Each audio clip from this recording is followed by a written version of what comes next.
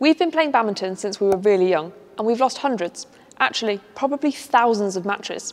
And most of the time, these losses have ultimately come down to one thing making more mistakes than our opponents. But how do you make less mistakes? And why is it that on one day you play really well and another day you don't? Well, we're now going to share eight reasons why this might happen and give you some simple tips of how you can improve your consistency and win more matches.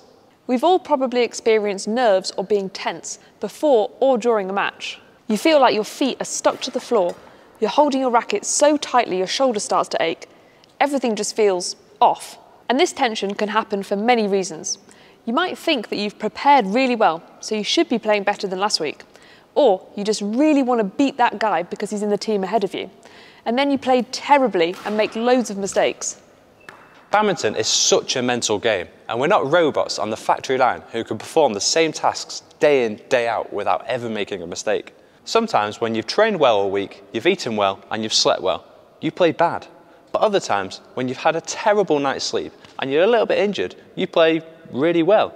Well, this is strange, but it's basically because you have no expectations and you just relax. But how do we avoid making mistakes when you are tense and nervous? Two things we would say apart from to relax, that's pretty obvious, is to firstly focus on enjoying the game and remind yourself that that's why you play.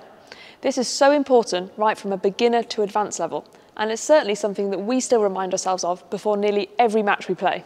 And the second, which is more technical, is to start by focusing on moving your feet, and the rest should hopefully follow. Generally, when you're tense, the first thing you do is stop moving. So rather than focusing on everything you're doing wrong, moving your feet is a good place to start. We actually want to do a whole video dedicated to dealing with nerves, so keep an eye out for that in the future. Now, the next mistake leads nicely on from this, and this is thinking too much about your mistakes. It's well known that if you think about something, you're more likely to see it more, and this is called the frequency bias. For example, you think about buying the Victor Thruster F, and then you start seeing them everywhere.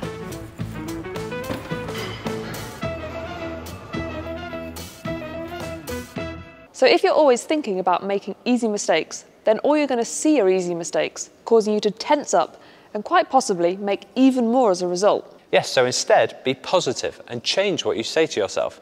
It might be something extremely simple, like over and in, or you might remind yourself of your strengths. For example, I always remind myself to keep using variety in my overhead shots and not just smash everything. Yeah, and not enough people do this, so it's really important to keep reminding yourself of these things in between points. Otherwise, before you know it, you've lost five points in a row. And this brings us on to our third common mistake. How many times have you come off from a match and thought, what happened there? That went by so fast and I can't even remember most of the points. Don't worry, it's definitely happened to us too. This is why it's so important to take your time in between points, to reset remind yourself of the game plan and focus on the next point. Yeah, and there are a few strategies you can use to help slow down in between points, such as take a drink, mop up some sweat on the court, or use a reset cue like our good friend Toby Penty does. As you can see, Toby looks up before the start of the point to remind himself to focus on this upcoming point, not the previous one, and to stick to the game plan. These techniques can help you to avoid making lots of mistakes in quick succession, which happens so much in badminton. Now, getting technical, our fourth way to avoid making lots of mistakes is to improve your racket position in your preparation. There's actually two points to this. Firstly, and quite simply, if you're waiting for the shuttle with your racket down here, then you have to bring it from here up to meet the shuttle, which wastes a lot of time. It will mean that you're going to be taking the shuttle slightly later, which puts you under more pressure and means you're more likely to make a mistake. Getting this point right also gives you more options of what shots you can play. From down here, you can only play a lift or an upwards shot, whereas from here, you can play downward shots and drives. This means your opponents can't step forwards like they might if you're taking the shuttle late, which can often put you under more pressure, again causing you to make a mistake. And it's important to mention here that sometimes we get into these positions and think, oh my gosh, I'm so early and have so many options, and then you panic and hit it into the net. And this is where you need to have clarity of thought and not tense up. The second point looks at your preparation just before you hit the shuttle.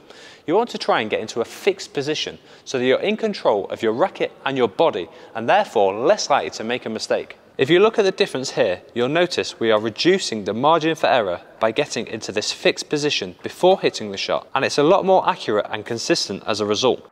And this is for most shots you play. Just make sure you don't misunderstand this and slow your swing down or have a robotic or predictable technique.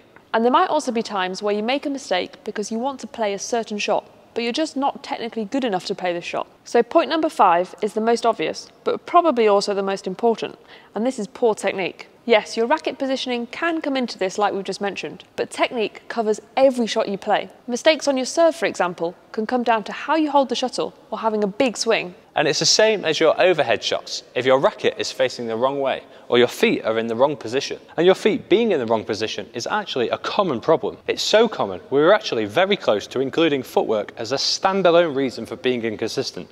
But at the end of the day, footwork is part of your technique. And we've already covered a lot of different techniques on our channel if you want to watch them after watching this. So, mistake number six is trying to play perfect badminton, aiming every single one of your shots to hit the line or just go over the net. Instead, you need to allow yourself some room for error. Just think, would you rather hit nine lifts out the side or back and one perfect lift into the corner, or 10 lifts landing around here every time? Of course, the better you get, the less room for error you give yourself. We still don't aim for the lines, do we? No, we aim just inside to give us some margin for error. And sometimes you might feel like you're not trying to play perfect badminton, but you're still making easy mistakes. And this might be due to a lack of purposeful practice. When you're trying to get better at something, research indicates that there are generally three levels of progress. Level one is gear acquisition, such as buying a new racket. Level two is learning, such as watching our YouTube videos. And the third is deliberate practice, which is actually putting in the work. Each of these levels of progress gives you satisfaction, but on different timescales. So buying a new racket gives you an instant reward, whereas purposeful practice, you generally have to put in a lot of hours before seeing a reward. But everyone likes to see instant progress, so a lot of people suffer from gear acquisition syndrome. But unfortunately, buying loads of new rackets isn't going to make you the next world number one, compared to if you actually put in the hours to become a better badminton player. And we get loads of messages saying things like, thanks for helping me improve my game and win more matches. But whilst we love these messages, it's not us that's doing this, it's you. You're the one going out and putting in the hours of practice to implement what you might have learnt when watching one of our videos. We, as professional badminton players, have always known the importance of purposeful practice, but we were recently reminded of this importance when we were watching a Skillshare class on how to build habits that last by Thomas Frank a few months ago, where he outlined these three levels of progress. This class had so many useful pieces of information that are related to becoming a better badminton player. And we came away from watching this class feeling really inspired, so we wanted to share it with you all. And this video today is actually sponsored by Skillshare, so if you want to watch this one hour class, then click the top link in the description or the pinned comment below. Skillshare is an online learning community with loads of inspiring classes, and the first 1,000 people to use our link will get a one month free trial to Skillshare where you can watch any of their classes. And if you were to decide after your free trial that it's not for you, then you can cancel with no charge.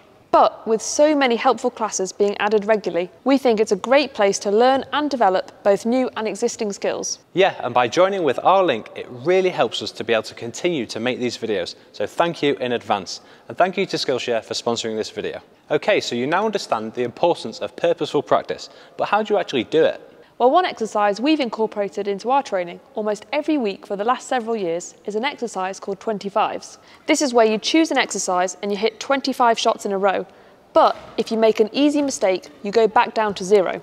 This adds a bit of pressure, which hopefully is similar to the pressure you'd feel in a match. Remember, you need to practice to perform. The exercise forces you to be consistent.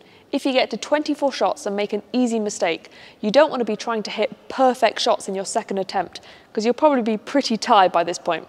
So here are some examples of exercises you can do in 25s. And remember, consistently putting in the work is what's going to help you improve your consistency over time. You can't just do one training session with purposeful practice and expect to be consistent afterwards. And to get the most out of your training, you need to be consistent with everything. And this is our eighth mistake, being inconsistent. Let us explain that a bit further, as you're probably thinking, of course, a mistake of being inconsistent is being inconsistent. Well, here we're actually talking about the consistency, or sometimes inconsistency, of your daily habits. This includes things such as your warm up, your diet, how much you sleep, plus a lot more. And being consistent in these can reduce any external variables that might impact your performance. Exactly. As we mentioned before, you'll have good days and bad days. But if we can just do what we can to reduce the reasons why we have the bad days, then it might just lead to more good days. There's no point eating a salad and going on a run the day before a tournament when you've just eaten pizza and ice cream and not trained for the last week. And this all comes down to developing good habits. And this is a topic we're both really interested in. Atomic Habits by James Clear is a great book for anyone looking to build good habits. And there was actually another great lesson in the Skillshare class by Thomas Frank, all about habit building. So don't forget to check out that class on Skillshare. We really recommend it. Now please give the video a like if you're going to use one of these eight tips to help you become more consistent. And don't make the mistake of not smashing the subscribe button if you haven't already. And we'll see you on another video.